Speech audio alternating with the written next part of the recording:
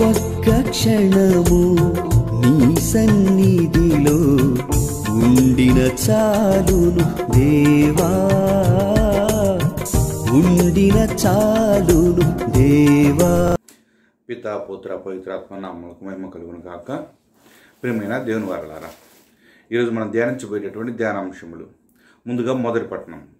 సమూహలు రెండవ గ్రంథము ఏడవ అధ్యాయం మొదటి వచనం నుంచి ఐదవ వచనం వరకు. మరియు ఎనిమిదవ వచనం నుంచి పదకొండవ వచనం వరకు మరియు పదహారవ వచనం.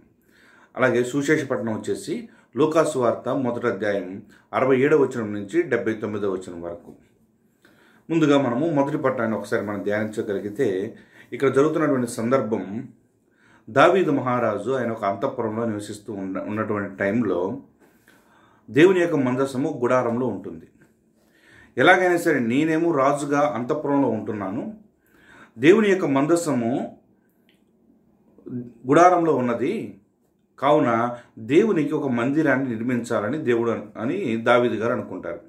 అనుకున్నప్పుడు దేవుడు నాతాను ప్రవక్తను ఆయన దగ్గరికి పంపిస్తారు దావీదు గారి దగ్గరికి.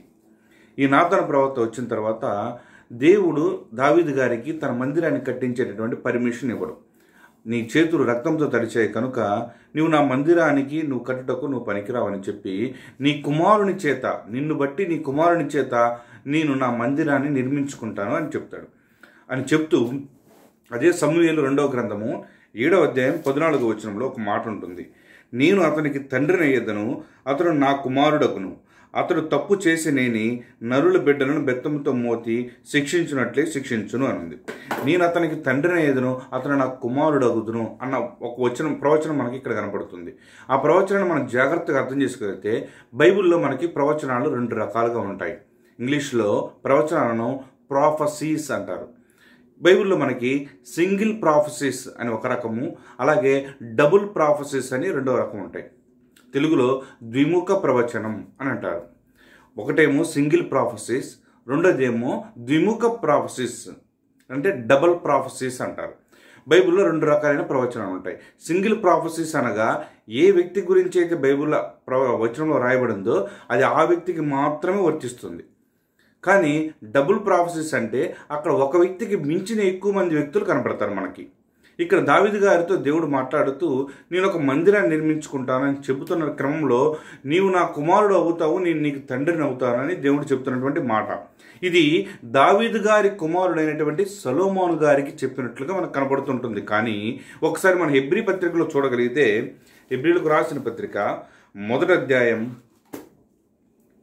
ఐదో వచనం. హెబ్రిలకు రాసిన పత్రిక మొదటి అధ్యాయం ఐదో వచనం చూడగలిగితే ఎట్లనా నీవు నా కుమారుడవు నేడు నేను నీ తండ్రినైతనని దేవుడు తన దూతల దూతలు ఎవరితో నేను పలికి ఉండేనా? అట్లే నేను ఆయన తండ్రి నగుదును ఆయన నా కుమారుడగును అని దేవుడు ఏ దూతతోనూ చెప్పి ఉండలేదు అని.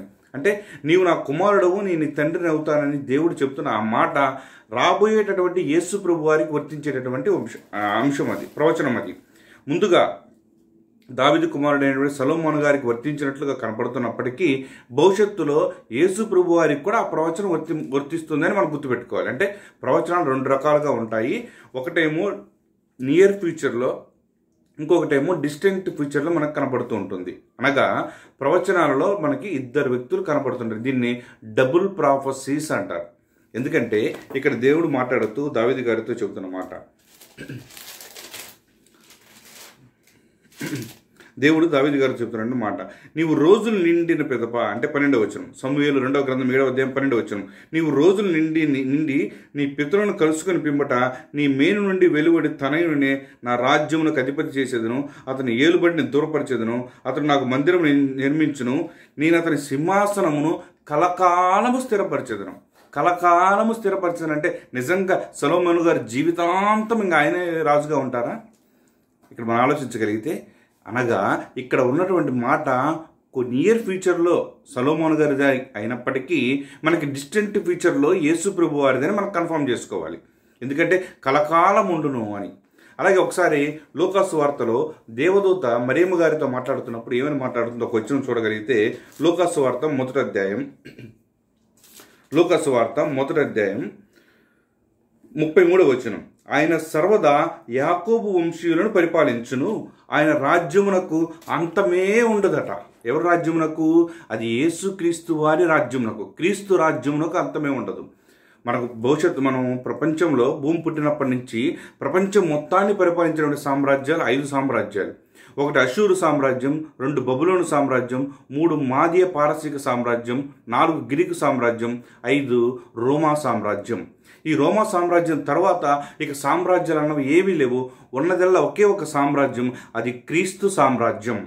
యేసుక్రీస్తు ప్రభువారి యొక్క సామ్రాజ్యం. ఇక సామ్రాజ్యాలంటూ ఏమీ లేవు. అందుకనే ఆయన రాజ్యమునకు అంతమే లేదట.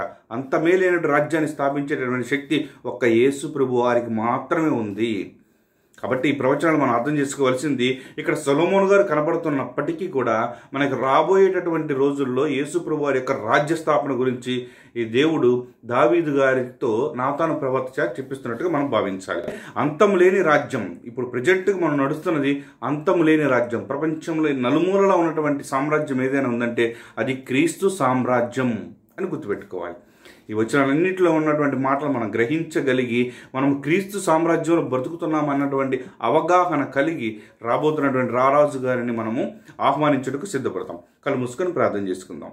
ప్రేమమయుడ ప్రేమ కలిగిన మా ప్రియ పరలోకపు తండ్రి మీ మహాకృపచేత తండ్రి మీరు ఇచ్చినటువంటి కొద్ది క్షణాల తండ్రి మీ యొక్క మాటలలోని భావాలను తండ్రి మేము అర్థం చేసుకున్నట్టుకు మీరు ఇచ్చిన ఈ సమయాన్ని బట్టి మేము స్థుతిస్తున్నాం తండ్రి.